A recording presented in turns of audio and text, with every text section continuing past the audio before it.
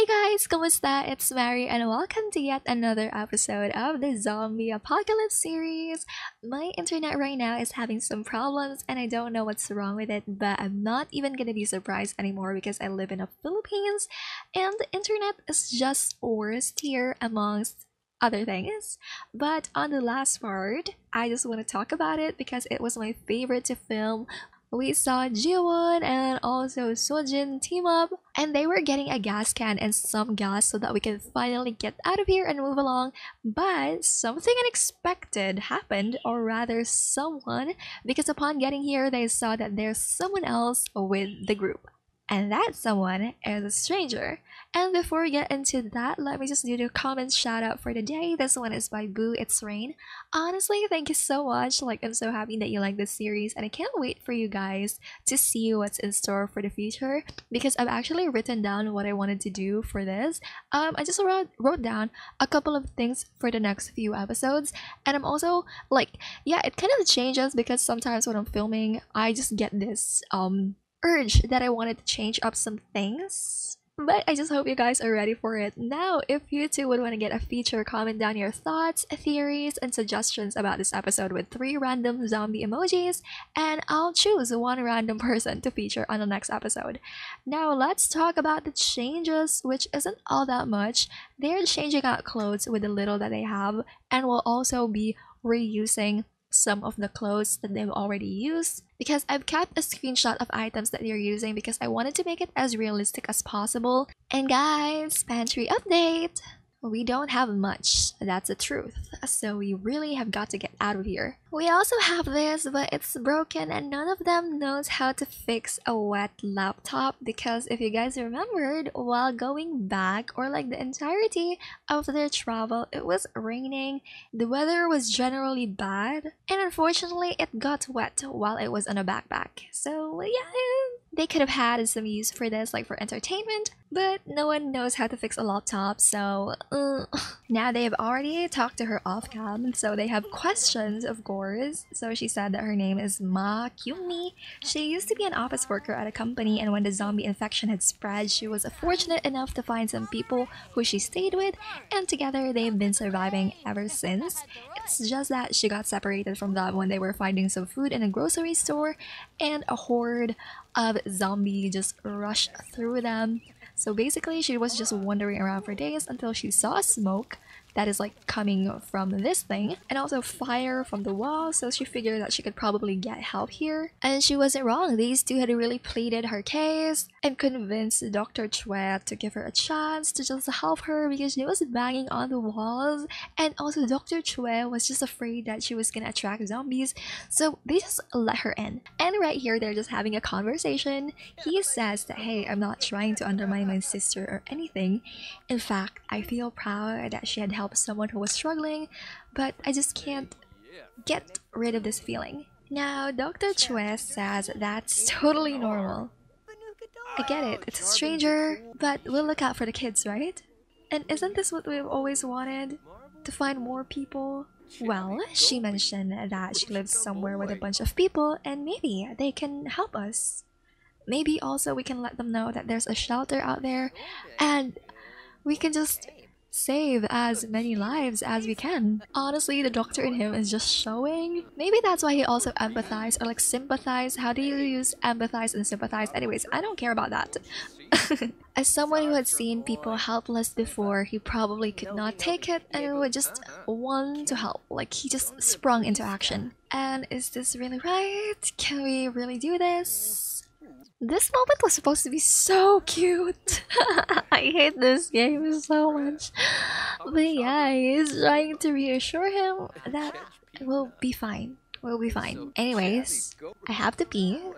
So why don't you go over there and try to talk to our quote unquote guest. And I saw some of you guys ship Dr. Choi and him, which is like so cute. But basically, they're just talking about where do you live? You mentioned, I heard you mentioned like a group of survivors. Maybe we can help you get back to them. And of course, Kyungmi says, oh my gosh, she's so thankful about it. In fact, it's not, yeah, I remember where exactly it is, and I can take you guys there. And she says that I'm pretty sure that they will be happy to see some more survivors too. Then also will be loading up the truck. He's gonna drive it closer so that they have no risk of like getting injured by any zombies. Somi and also Kiara are tasked to like put this all on their inventory or bags because Kyumi, Seojin, and also Jiwon have other things to do. So just put this in your inventory. Meanwhile, these three have so much things to do. Basically, they need to clear a path so that they can transfer this one closer here. This is so easy, but like just pretend this took about an hour to do. like just pretend. Pretend with me, guys. Pretend with me, guys. Oopsie, almost forgot this one.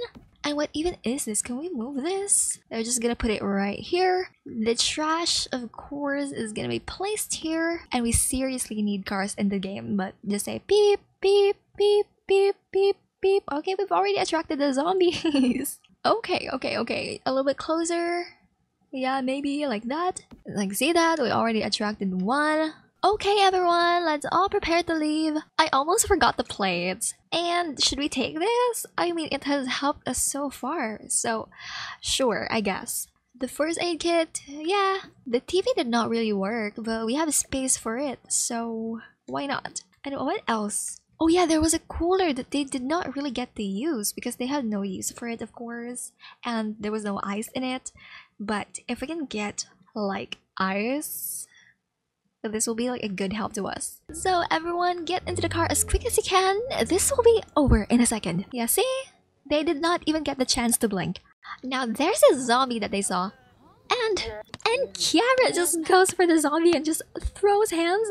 I almost feel sorry, but deserved. Jiwon was loading up the car all this time, that's why he was not able to see, but as soon as he heard the commotion, and he kind of slides the knife, calling out her name, and when she spots it, she just goes berserk on her, just straight up, oh my god, oh my god. The zombie stopped her, but she managed to pull through. She's like, holy shit, did I just do that?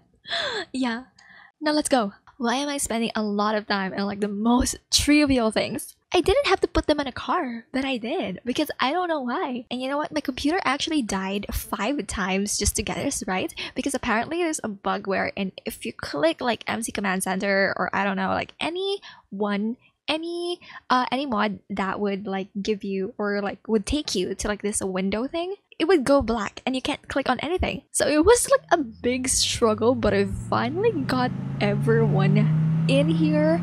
I was almost crying, I almost wanted to give up, but finally! And I even had one thing that I got wrong because supposedly Kyumi is supposed to be on the driver's seat.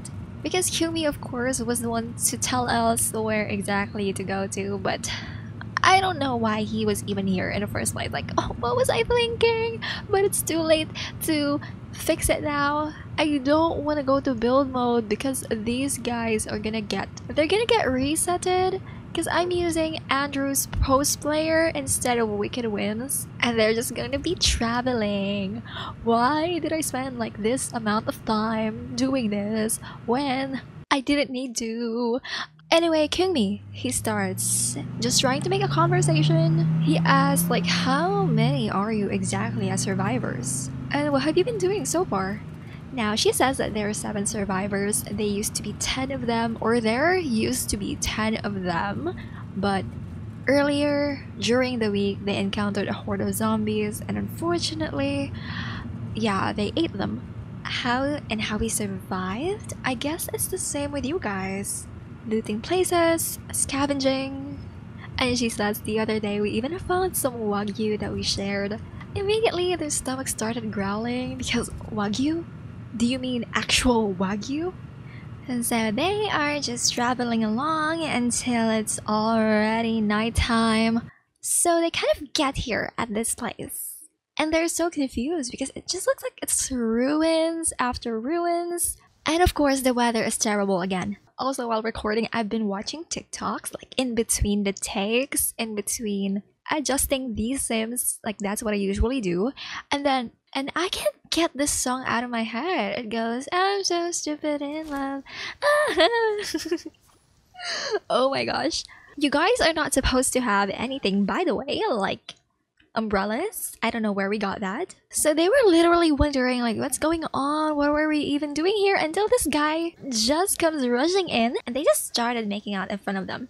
Like these two are like, what is happening right now? Then it's like, what am I looking at? Yeah, you didn't tell us you had a boyfriend uh, I don't even know what he is to you. A husband? She's saying, this is actually my fiance. Now he tells her that she misses him. I mean, he misses her so much that he almost died, like worrying about her. By the way, you guys, let's all just get inside. Yeah, that's our humble abode for now. Just get inside it.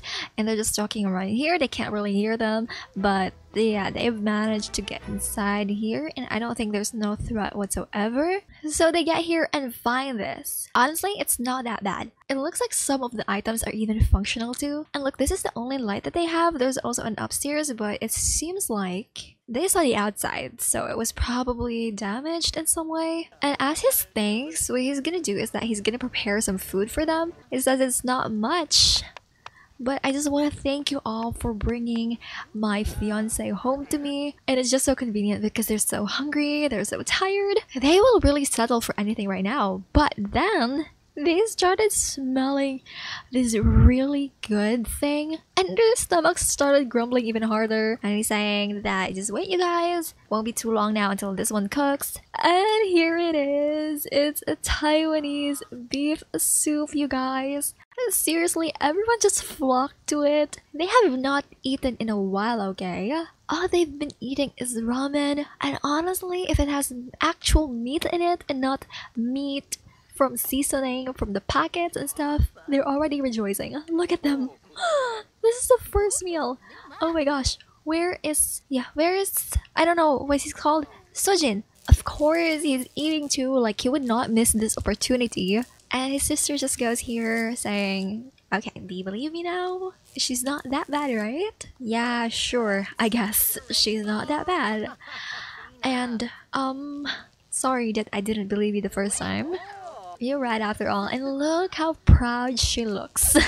She's so proud that she was right. And by the way, when you were gone, actually they told us that we can stay here for as long as we want. Yeah, this could be like the life for us. We, we don't need to go anymore to Gwangju. We're safe here already. But are we though? okay, maybe we're not yet safe, but maybe we can stay with them for a couple of days. Alright, I guess if they would like to offer us a space, then maybe it would work. But didn't they say they had a lot of people staying here also? Speaking of that, where exactly are those people? She says that, who cares? I don't know, maybe they're somewhere out there on another building but as soon as they come in they actually get told that they can use anything that they want we've got running water upstairs there's even a couple of beds that you guys can borrow and just thought of a bed just brings tears to their eyes. Like, here's this thing that we can just probably clean up. Somi and even Kiara, they're both gonna sleep here. Meanwhile, he's getting this one alone because he's the only boy here. And also, he doesn't mind that it doesn't have uh, like covers. He's just he's just gonna pretend it does. Meanwhile, these two, they don't mind. They don't mind. There's only one bed. oh my god. I I have a confession. Yes, I wrote fanfics before. He's bigger than the bed, and boy, you should have showered before sleeping. But he doesn't mind. And so they are gonna get their much deserved sleep, their much deserved rest. They are so cute. They think that things are finally looking up for them. Unfortunately though, that is just so far from the truth. Okay, so they did not really haul out their stuff like the cooler and everything else it's still on the car even the groceries are still on the car and that's just the first of their many mistakes unfortunately they have done this to many other people before and today they are the victims so so without their knowledge they even took a selfie. What the oh my god these two are more deranged than i thought. But yeah without their knowledge they were already being robbed. And as soon as they wake up, they would discover that everything's gone. And they are just back to zero. And so guys, I will just be ending off this episode right here. Yeah, they really should not have trusted her, but she was so convincing. Kyungmi was just she had her story ready, okay? And I just know it would break their hearts so much once they woken up and seen that everything that they worked so hard for this past few days was just stolen just like that because of the people that they have trusted. But thank you guys so so much for tuning in and I'll see you guys again soon. Bye bye!